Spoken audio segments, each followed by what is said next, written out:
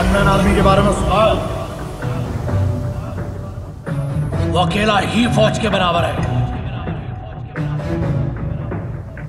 जो भी तेरा टॉर्चर है, वो मेरा मोहम्मद है।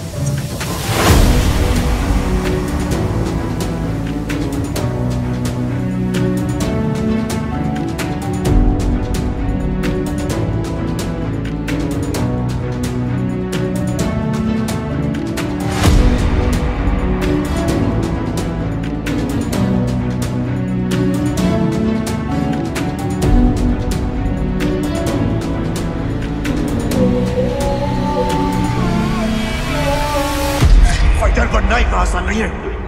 यही खेचर में और डेविड डेविड जैसा कभी नहीं बन